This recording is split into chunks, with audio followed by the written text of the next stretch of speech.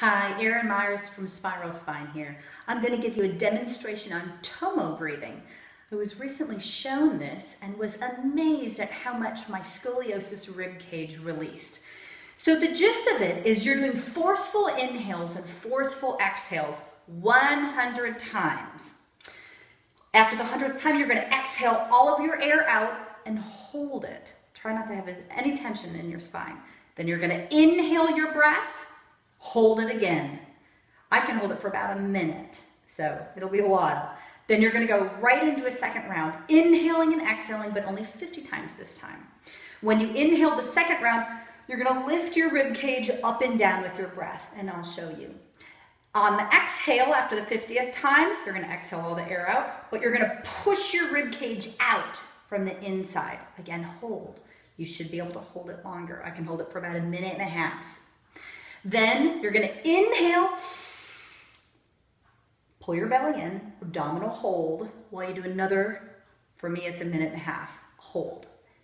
Relax, that's Tommo breathing. Here we go.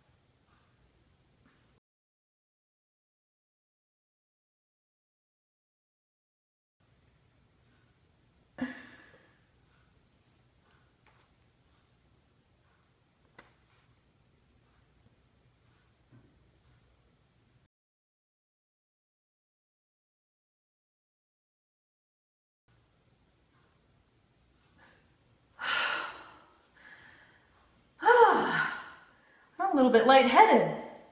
So that's Tommo breathing for you.